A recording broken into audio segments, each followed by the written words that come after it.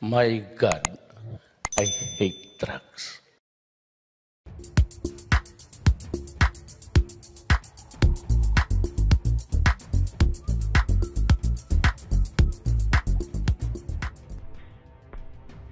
Andrew E. nagtanghal sa Uniteam Campaign Rally sa Giginto, Bulacan, bagong ika-cancel. Andrew E. nagtanghal sa Uniteam Campaign Rally sa Giginto, Bulacan. Nagpakita ng pagsuporta ang Filipino rapper, record producer, at komedyanteng si Andrew E. sa Uniteam ni na Presidential Candidate Bongbong Marcos at Vice Presidential Candidate Sara Duterte sa pamamagitan ng pagpe-perform sa ginanap na campaign rally nito sa Giginto, Bulacan. Nasa trending list ng Twitter si Andrew E. na nagpapahype sa mga dumalong BBM Sara supporters na isinisigaw ang pangalan ng kanilang mga manok sa darating na halalan 2022. Dahil dito, halo-halo ang naging reaksyon ng mga netizen.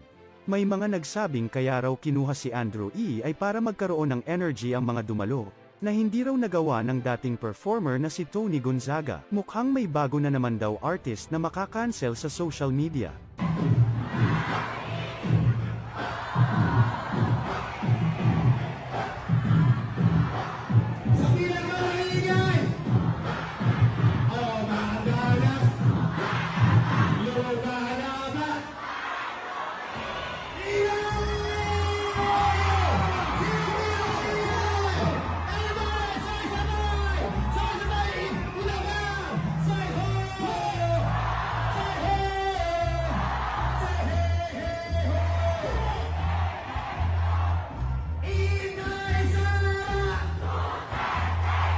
He died.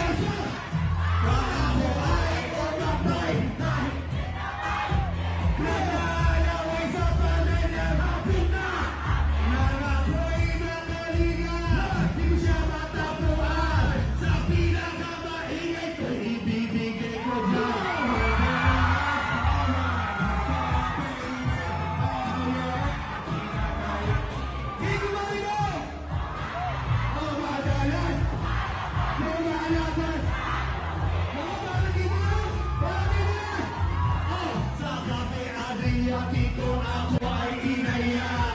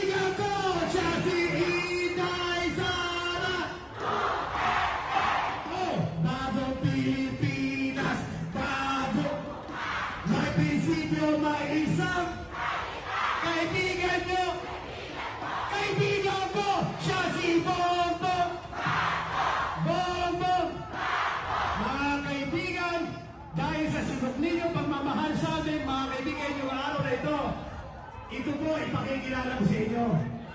Ang nag-iisa at tanging babaeng na halal bilang Vice Mayor at Mayor ng Davao City. Ang tinaguriang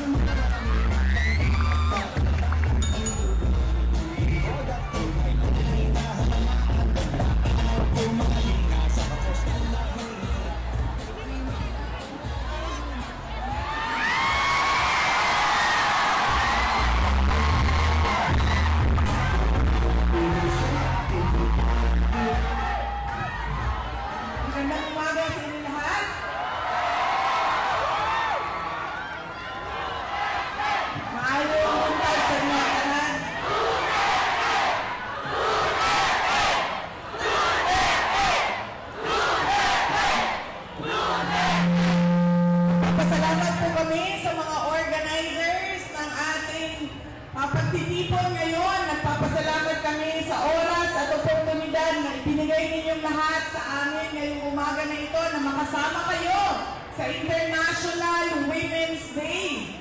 At makilala kayo at makapagbigay ng mensahe para sa inyong lahat dito sa Giginto, Bulacan. Maraming salamat sa inyo!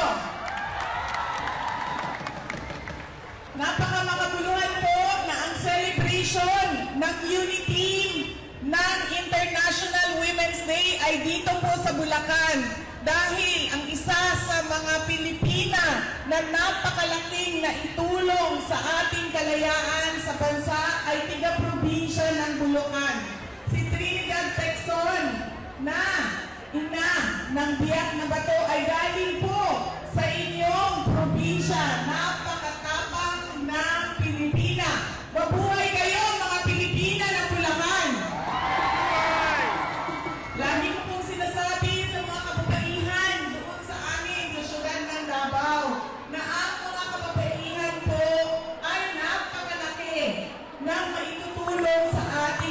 komunidad.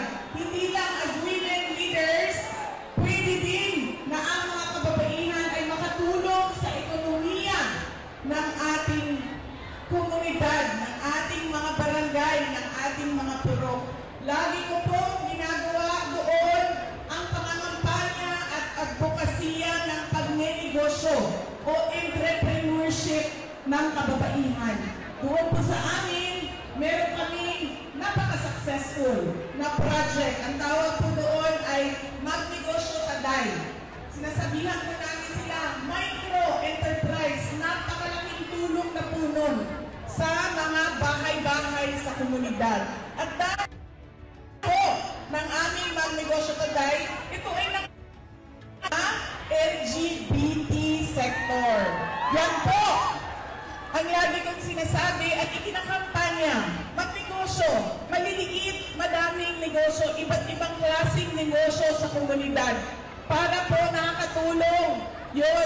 ating income sa loob ng ating mga tahanan.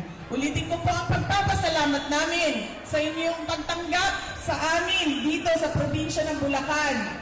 Ang unity po ay merong 12 senador.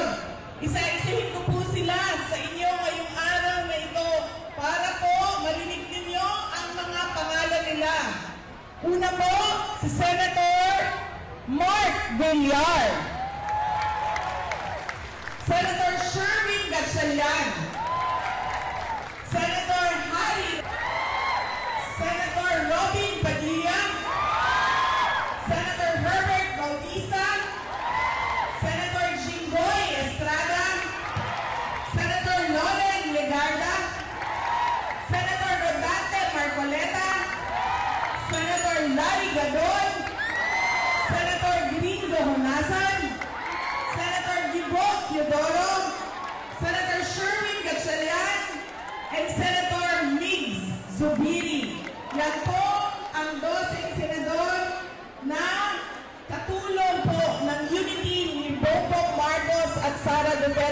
nagsasabi meron silang lakas na gumawa ng batas para sa ating bansa.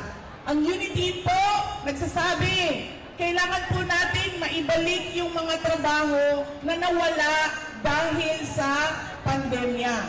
Ang sinabi po ng mga doktor, bakuna. Meron na ba tayong bakuna? Naka two doses na ba tayo? Nakapag-booster na ba tayo? Ang sabi po ng mga doktor, gamot para sa COVID. Meron na pong gamot ang Merck at Pfizer. Kami po sa syudad ng Davao ay nakabili na po kami sa Merck at yun po ay available para sa mga Davaoenyo. Pero hindi naman po lahat na nagkakasakit ng COVID ay kailangan ng gamot.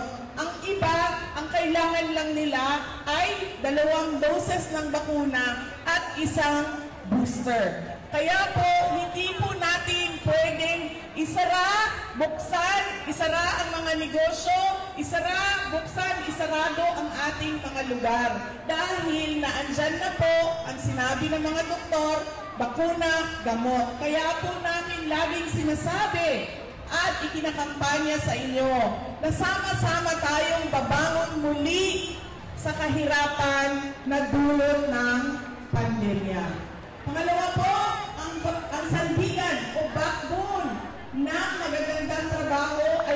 kalidad po ng edukasyon ng ating mga anak. Kung ang anak niyo po ay hindi pa po marunong, marunong magbasa, 8, 9, 10 years old na, ibig sabihin po may problema ang kalidad ng edukasyon ng ating kabataan. Pangatlo po ay kung ano yung gusto ng lahat ng mga tiga-Bulacan at mundo. Ang gusto natin ay mapayapang pamumuhay na tayo ay nakakapagtrabaho, ang ating mga anak ay nakakapasok sa paaralan na wala pong nanggugulo sa atin. Ang unity po ni Bongbong Marcos. Bakit po si Bongbong Marcos? Dahil para sa akin, as a voter, importante po na ang nagpipresentang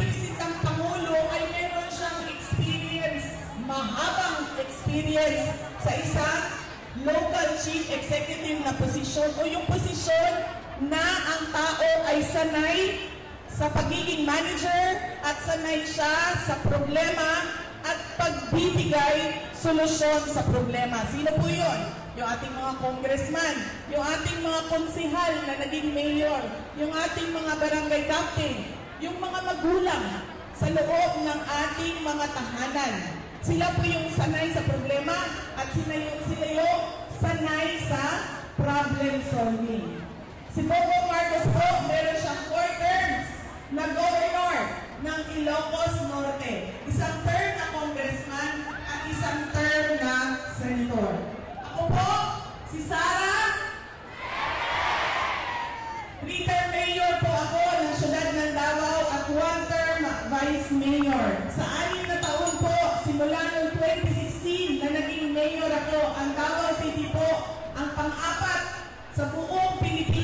Na most competitive city. At ang Davao City din po ang, pina, ang walo, pang-walo sa pinakamayaman na syudad sa buong bansa. At hindi na po yan. At ito po ang pinaka-importante sa lahat po ng Davaoenyo.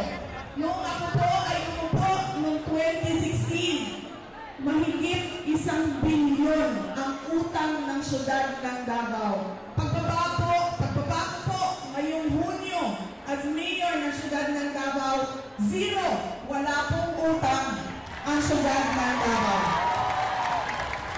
Wala pong mamanahin na utang ang mga susunod na Davaoenyo at susunod na administrasyon noon. Yan po ang unity ni Bongbong Marcos at Sara Duterte. Dalawa po ang ikinakampanya namin lagi sa inyong lahat. Una po, nasa pangalan po namin, Marcos Duterte Unity. Pagkakaisa po. Sinasabi po namin na kapag kami ang inyong pinili na maging Pangulo at pangalawang Pangulo ng ating bansa. Pagkatapos po ng eleksyon, ay buburahin po namin ang lahat ng kulay. Isa lang po tayo. Pilipino tayong lahat.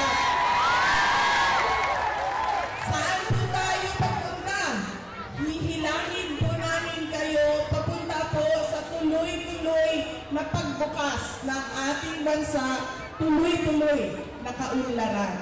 Una, pagkakaisa. Pangalawa, kapayapaan. Amin pong ikinocommit sa inyong lahat na itutuloy namin ang mga reforma na nasimulan ng administrasyon ni Pangulong Duterte. Una po doon ay ang Build, Build, Build program ng Pangulong Duterte. Dahil napaka-importante po na ang ating bansa ay gumastos para sa mga patubig, daan, kuryente, tulay, skyway, subway. Kailangan po natin na gumastos sa infrastructure projects. Pangalawa po ay ang pagtutuloy ng programa kontra kriminalidad ng administrasyon ni Presidente Duterte. Dahil gusto po natin walang nanggugulo sa atin kung saan man tayo nakatira dito sa ating bansa. Yan po ang unity ni Bongbong Marcos at Sara Duterte. Ang aming pong pamilya, ang pamilyang Duterte, ay meron pong malaking utang na loob sa inyong lahat dahil sa pagmamahal at suporta na ibinibigay ninyo sa amin. Ang daladala ko po ay kung ano ang nasa inyong lahat. Yan din ang nasa akin. Hindi naman po ako special. Ang dala ko ay tibay ng puso ng isang Pilipino na gawin ang lahat sa aking trabaho upang tayo po ay merong mapayapang pamumuhay dito sa ating bansa. Mahalin po natin ang Pilipinas. Mabuhay ang Ginto! Mabuhay po natin!